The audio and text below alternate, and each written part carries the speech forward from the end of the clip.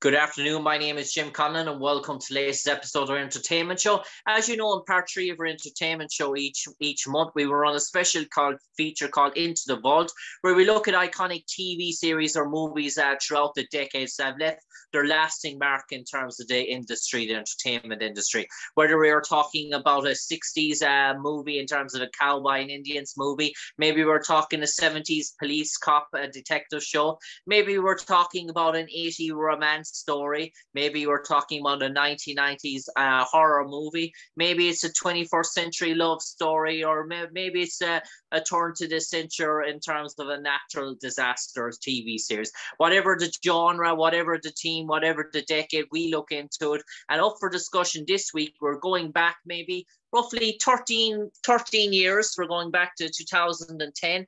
And for all the followers who have a great interest in ancient civilizations and ancient times, this is going to be a right treat. It's going to be up your alley. It all d- debates about dealing back to the modern times of the ancient Romans in terms of uh, Macedonia, Greeks, uh, in terms of all the sort of uprising that that came about. The modern day gladiators is what we call them. And we're delving, we're going to to talk about a special TV series that rocked the industry in terms of 2010 when it came out. It was really brought the realism and nature to life. It was obviously Spartacus. Uh, it came out in 2010, 39 episodes over three seasons, and we're delighted to be joined by one of the stars of the show. He, made, he arrived on the Spartacus in the second season and made himself a permanent uh, character as the lead uh, character playing Spartacus himself the the one and only uh, Liam McIntyre. Um, first of all, Liam, Spartacus, uh, 2010. I suppose does it feel almost like it's 13 years ago now since you were uh, dare dare I say uh, going out in bare sandals in terms of uh, getting uh, rolling around in sand, uh, playing with knives. Uh, every teen every teenage boy's dream. hey there, Jim. It's nice to speak to you. Uh, I, during that intro, I was like, "Oh, please stop saying how long ago it was." It hasn't really been a decade since it's happened. Yeah, it was. Um, it doesn't feel that long ago. It was such a. I mean, it was extreme. It was a life changing experience for me in every way. So, I um, yeah, you you hit the nail on the head though. Like I was, it felt like being a ten year old kid, just um, getting out there and and and living out your, your boyish fantasies of swinging swords around and fighting against the bad guys for the greater good and all that sort of thing. It was um, it's a dream come true, and it doesn't it doesn't feel like that long ago, even though and you know the old body was thinks about it and goes, oh geez, that'd be hard. and I suppose Liam, just I was supposed to be dare not to mention the casting in terms of the the fellow actors that were cast. Oh no, Andy, yeah, no, uh, mention mention away. I'm just going to mention them there in terms of some of the iconic uh, names in terms of Lucy Lawless, Manu Bennett, v- Viva Bianca, Peter Mensah, John Han- Hannah, Katrina Law. Uh, Anna Hutchinson, Leslie Ann Brandt, Nikki Tarabay, Ellen Hollman, uh, real, real strong casting in terms of Spartacus right from the off. And uh, when you, uh, Liam, came into it in the second uh, season, God forbid, after the tragedy that happened at Andy mm. Whitfield, when you saw that la- list of actors uh, and actresses that you were getting to work beside and the foundations, you must have been sort of chomped at the bit. I mean, John Hannah is an absolute legend in terms of being English industry. Well, the great tragedy is I never actually got to work with John. I met John for the first time because because I don't know I don't want to spoil it for anyone, but John Hannah um, he, he finds it a little hard to speak after the end of the first season. Um, but yeah, no, he he I actually met him at a convention for Spartacus years later, and he's an absolute magic piece of work. I was very happy to see him in The Last of Us, uh, just a little bit in, in that recent show. That's that's absolutely magic. But um, you know, he's he's he's a laugh riot and a talented man beyond means. He's one of the best things uh, in the show. And uh, but you know, working with Lucy, who's an absolute icon in every sense of the word, was you know she everyone everyone was so down to earth and and just just absolute magic. You know, like they were. I was obviously coming in in the sort of the saddest of all circumstances. They, they got sadder as it went along because at first, poor Andy Whitfield, who was an absolute brilliant was was an absolute brilliant actor um, you know, his his tragedy is he's, he's for those that don't know, hopefully they, they you do. It's uh, he was he was Spartacus to begin with, and he's absolutely brilliant in the first season. And then the poor guy got cancer, and so he had to step away from the role, and they needed to replace him. and I was the the person who got to take up that mantle and that legacy.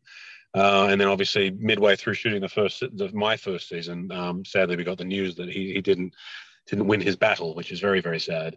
Um, but yeah, every everyone that was in that boat when I first came in that was wishing Andy well at the time and and and hopeful that I could could do a job um, was so supportive and so kind, and they didn't feel like the mega stars that some of them are, you know, and and and they would they were just they were just kind and generous with their time and their efforts, just to make me feel, you know, I, I don't I don't believe there's been, you know, they've they've replaced Darren in Bewitched and things like that, but I don't think they've, from what I heard, they hadn't they'd never replaced the titular character of a show before, so I I was quite green as an actor, and I don't I don't know now if I could now do what I did then because now that I know what the rules are, I, I, probably would have been even more overwhelmed than I was at the time. But I was very lucky to have great producers and, and writers and everyone from the top to the bottom just be so kind and helpful to try and get this actor across the line to, to be able to do the job that was required of him. I'm lucky man. And I suppose, Liam, you mentioned that in terms of the lead actor being replaced. We have a famous show here in Ireland. I know you've been here for a while. You've probably heard of it, Father Ted, in terms of TV comedy sort of series. And Dermot Morgan, the lead actor, obviously yeah. uh, passed away in terms of that. But it was just comedy gold. Dare not brought in anyone to play the character of Father Ted when it sort of yeah. happened. He actually died when actually the series was on in terms of the the the, the, yeah. end of the sort of third series. So it is a rarity as sort of such. But I'm rare. just intrigued in terms of the landing that role in terms of replacing Andy Whitfield? Was the competition fierce? I imagine it was fierce. Did you have to beg and claw and scratch basically to get that role? I mean, yeah, I, I, in a literal sense, sure. Again, I, I can't speak highly enough of ignorance being bliss in some regards. Like I, um, I was working in a cinema down in Australia. I was, I was in the head office, and had just got like the job of my dreams for the job that wasn't going to be my dream job. You know, like the, the promotion that was like, oh man, I wish I could work in this part of the business if if I'm if acting's not going to work out, which I guess it won't. Uh, and then I got this call to do this audition for Spartacus, and I remember thinking if I just got and like, hey, good job, then I'd feel like maybe maybe I'm not terrible at acting, and this might still be something I could do on the side. You know, be, be a bit of fun. And then they said okay, and then I did the audition, and they liked it, and then and then they said, do another one. I'd never really had that before. And they were, they were like, all right, do another one. And then come over to New Zealand and, and do another one. And obviously now I know, like I found out later, they went through thousands, thousands of people, literally thousands. Um, at the time, I was just like, oh, well, this is, this is a lot. Like, uh, how wonderful. I'm sure they'll eventually work out that they won't hire me. But, but for now, what, what magic. I get to go to a country I'd never been to at the time and, and have fun. You know, I think I said, I saw U2 while I was there with my per diems that I got from the job, and, and I thought I was having the time of my life. And I and, and yeah, I went there to train because I, I wasn't I wasn't gladiator shape by any stretch of the imagination, and so they, they were trying to whip me into shape to see if I could do that, and and I did my best, and so and so far so good, and and then one day they, I was about to go into the gym again, and they were like, oh no, today we've got to go in and do. Uh, do some uh, do the the test auditions with with the other actors. And i was like what other actors? I'm like oh because i didn't know how test deals worked excuse me. Yeah. And um, and yeah, so there was other some other actors there, uh, very very talented actors. And as soon as they walked in, I was like, well, okay, that that makes sense now. now I know I'm definitely not getting the job. And and they were fantastic, but I guess they saw something in me that they liked, and they they kept me on and still didn't give me the job. And then they got five more actors in to do the same again, and didn't pick them either. And then so this, that went on for about six months, I think, in total. Oh. And then yeah, it was it was right now now i think if it wait if i have to wait three days before somebody says yes or no i get a bit stressed. And then i didn't know what was going on. So i was like okay i, I guess this is just how it works i guess. Um, and yeah and then and then one day i you know i went to bed on the friday and i said i'd had a big chat with my agent and said look if six months is a lot guys. I, I don't know like i think we might have to tell them that we, we, we probably can't do this for too much longer. It's starting to hurt my heart a little bit and, and then on the Monday, I got the call that they, they my, I'll never forget it as long as I live. When my agent calls me up and says, uh, "Yeah, hi, who's this?" and I said, "It's Liam," and he's like, oh, "That's a shame. I wanted to speak to Spartacus."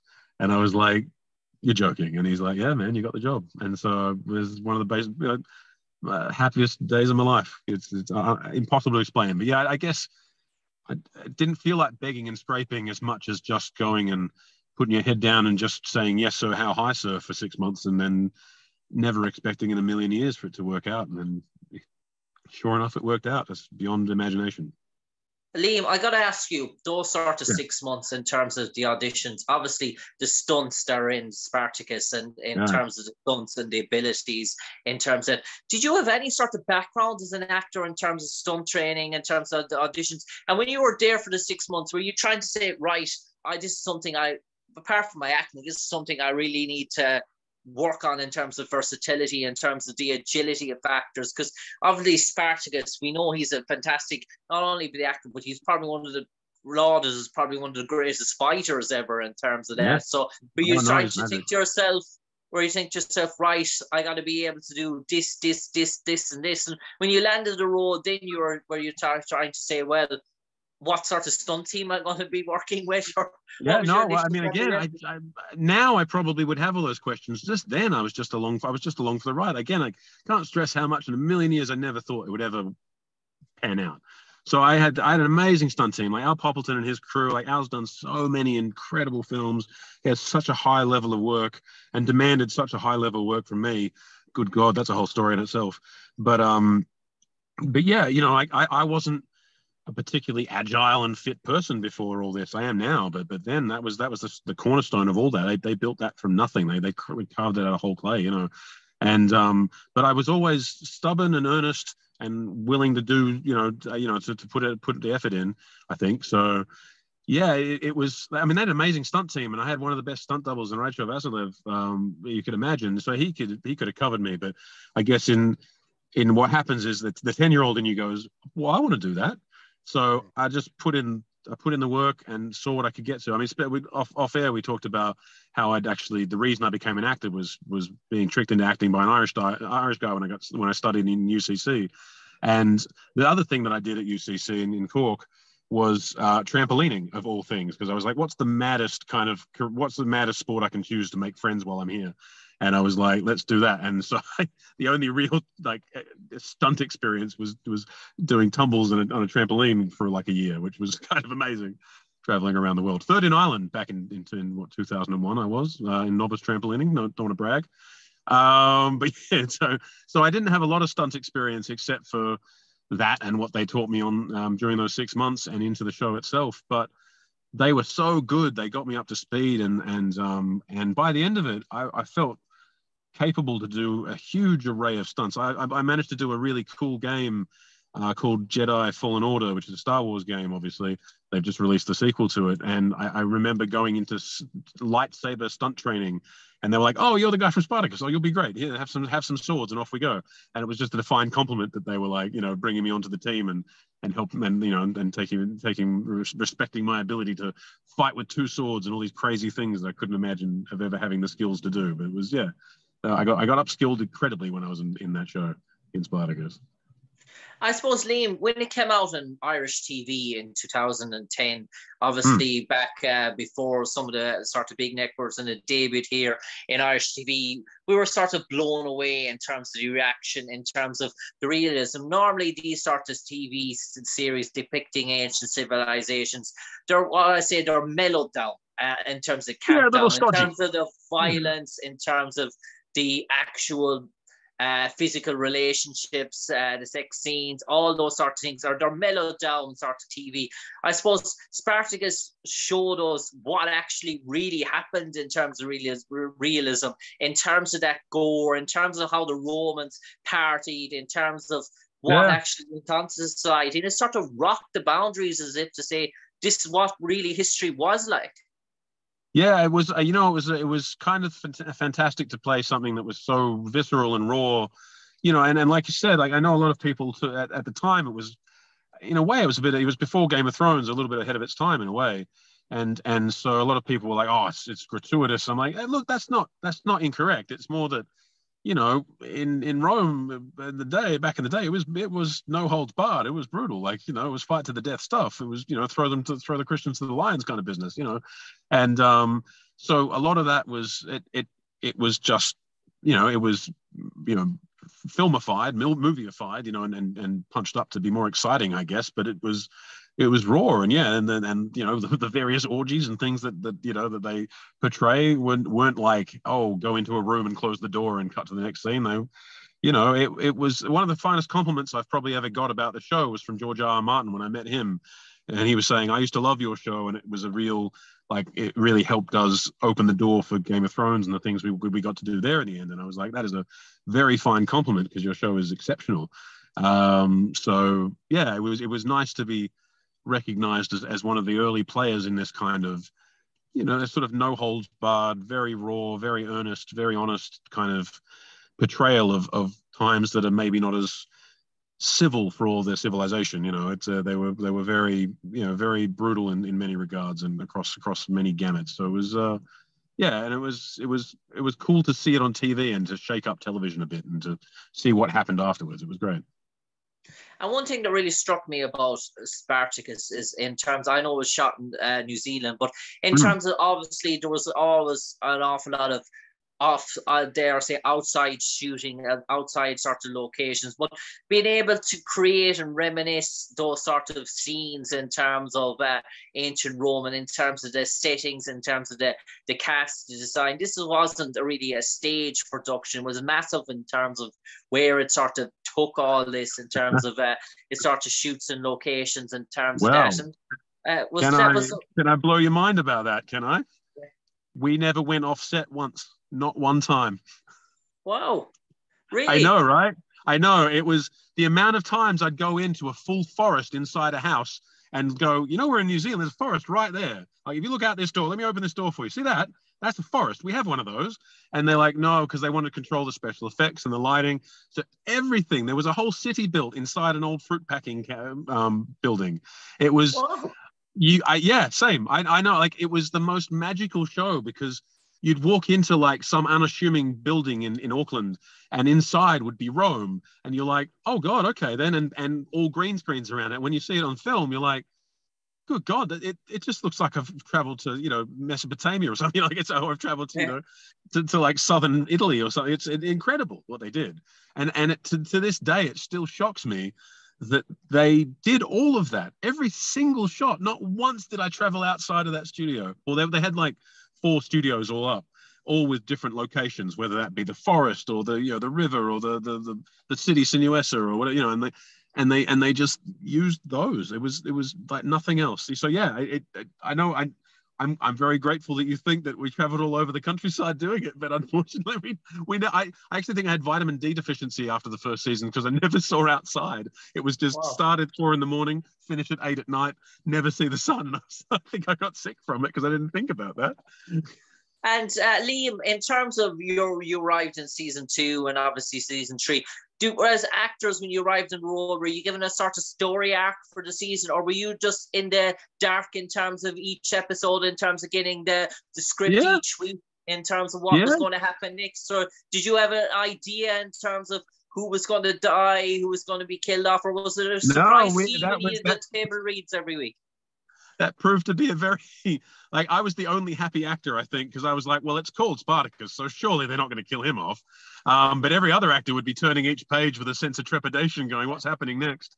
And someone sometimes you'd see their face fall, and you'd be like, "Oh, buddy, last episode." They're like, "Yeah, apparently." Um, no, then normally they'd tell them, but like, yeah, no, it, it, because of the nature of it, you know, the, the television moves so slowly and so quickly in equal measure. So Steve and his team, Steve DeKnight, the incredible showrunner, um, you know, he's he's working a million miles a minute, and he's getting notes, and they're getting things, and they're like, oh, we can't build that set, and we can't do this, and we can't go here, and oh, we need to change this, and we need to change that. This actor's sick this week, you know, whatever it might be, you know. Um, and so a lot of it is is, I mean, obviously they have a huge plan because they're they're good at their job, but you know, you'd have to they, they would constantly be adjusting these things, you know. So, um, yeah, they had this you know you, you, didn't necessarily know what was going to happen week to week. Like I, I knew where it was going because I knew the history of the character. I sort of knew what they, I assumed they were going to plan for, and and I'm not sure. You know, you, you don't know if they're going to stick to it and how closely they will. So what what little I guess what little is known about his his actual day to day actions.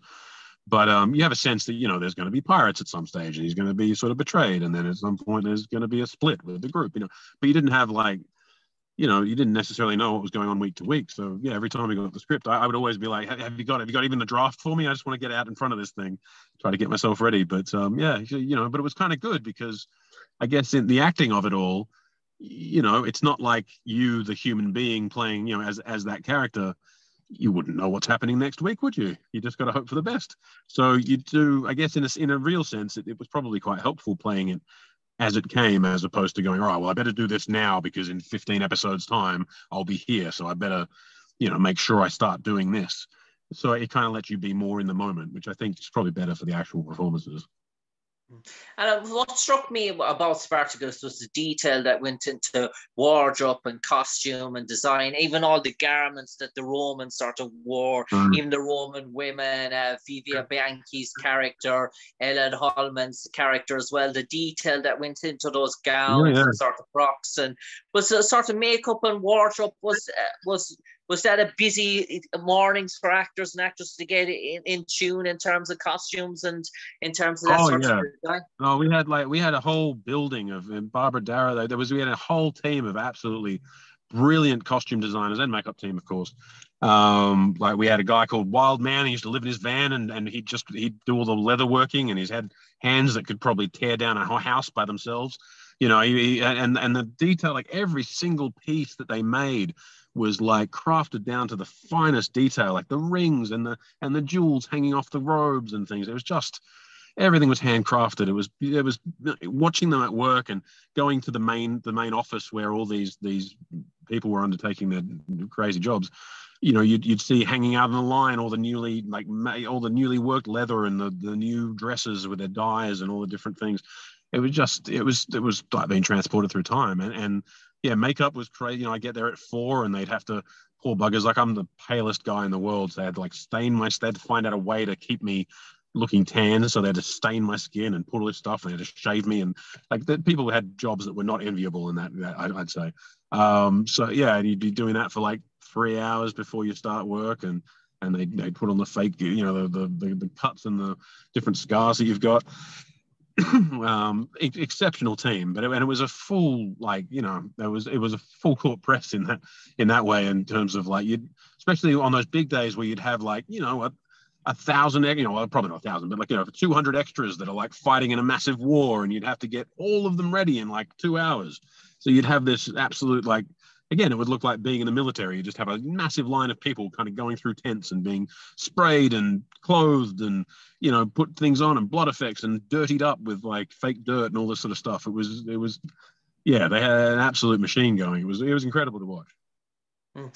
I suppose, Liam, one thing that said about Spartacus is that you were probably pioneers for other series that came out, like Barbarians on Netflix at the hmm. moment, mm. uh, right. The Last Crusade, uh, in terms of uh, looking at the knights and sort of stuff. So, obviously, shows that came about later years in terms of Netflix, YouTube, they sort of looked on what she sort of did in terms of representing those sort of times as well. And they almost felt that there was waiting for someone to break the mold uh, in terms of uh, coming out as that sort of example. And ye obviously were the first to start to do it. So ye get maybe the freedom for those shows to be as bold as what they are now today.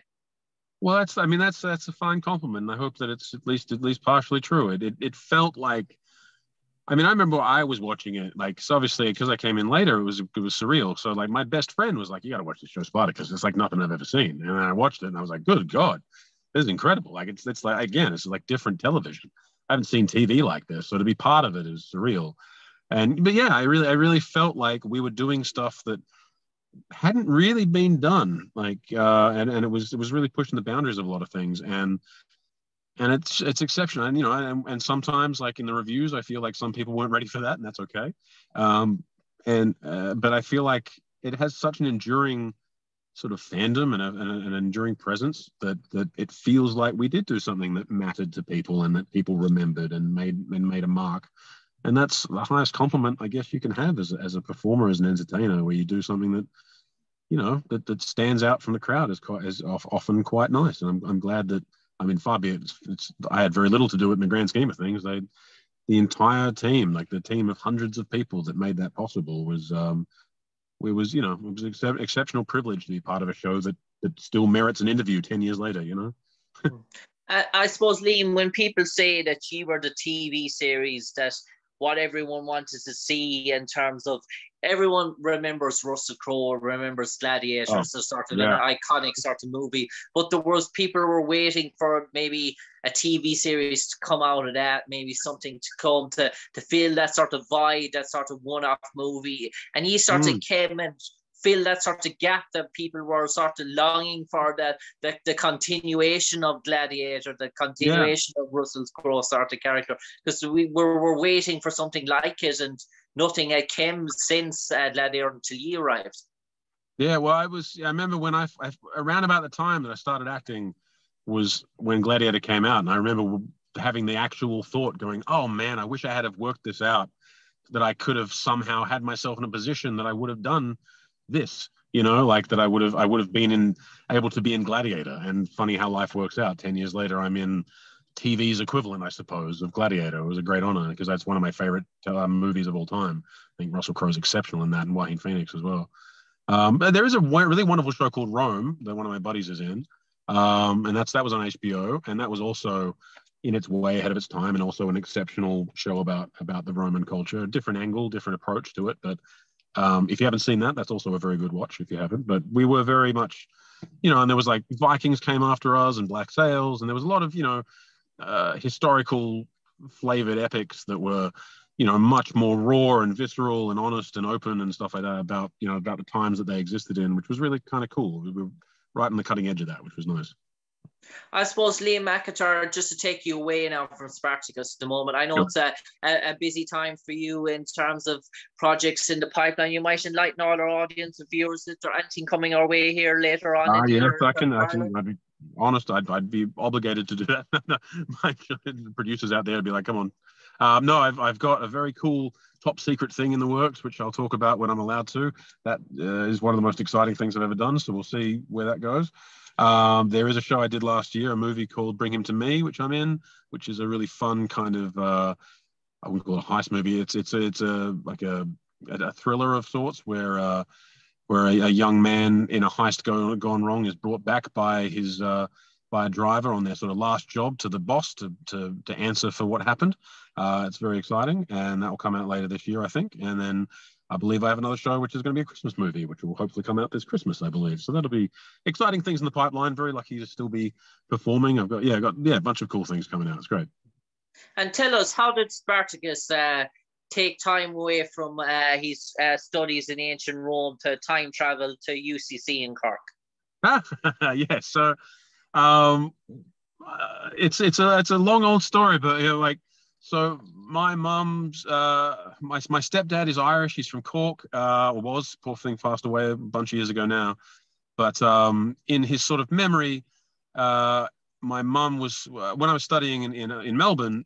My mother was like, "Well, if if there's this there's this chance to go overseas and study, um, and you can study in Cork, you know, just just down the road from Cobh, from where he's from, it'd be like a really great healing experience for us as a family, and especially for her." To, to go down there uh, um, if if you think you could manage it. And I was like, I'd love to do that for you, mom. That'd be great. And so I managed to get into this study abroad program, did my degree in UCC, and was just trying to find things to do, just to make friends and to be part of something. The last thing I wanted to do was be an actor, but I found myself at the right, the, you know, the wrong place at the wrong time, perhaps. And and Tom Creed, a, a fantastic director who still does the who does the work up in Dublin and stuff like that, was a young director at the time and and talked me into the Shakespeare play, Measure for Measure, and at the Granary Theatre at UCC in, in, UCC in, in Cork, uh, in UCC, and uh, and never looked back. I, that, that, changed my entire life. This uh, so yeah, I mean we, we went to Ireland a bunch of time before that. I'm lucky enough to have a place in Cobh, uh, delightful, best part of the world, uh, and we're hopefully getting back there again this year. That'd be nice. Um, yeah, no, Ireland's close to my heart in every possible way. I mean, I'm called Liam uh, because of that. And um, yeah, we've got two lovely redheaded kids that I like to think was my mum's gift from Ireland that, that she sent down to for, for me to have. So yeah, no, we uh, yeah, it was all it was all part of this big long journey of uh, of, of a crazy old life uh, and, a, and, a, healing process for us, and and it resulted in the changing of my life to become an actor and look at look at all the things that have happened to me since. It's been uh, beyond uh, beyond of comprehension. It's wonderful. I suppose, Liam, for the final 30 seconds now, I know my mm-hmm. generation has seen uh, Spartacus, but there's a whole new generation since the time that it brought out. And uh, probably people back then, maybe in the early 2000s, were only uh, seven, eight, eight, eight or nine young babies weren't allowed by their parents to see Spartacus. As they should they're, been. they're 20 year olds now in terms of that. They can rediscover Spartacus oh, for the very first time. What could you say to them? I guess I mean um, to that end, it's exciting. I, I don't know what's going to happen. There's writer strikes and all stuff going on in Hollywood now, but Steven the DeKnight, as I understand it, is developing more Spartacus that continues the story. So they might find themselves in a position to have to rewatch them anyway. So prepare yourself now, I'd say. Um, but yeah, it look it's it's it still is exceptional storytelling. It's still very uh, a very exciting story to watch and to be part of.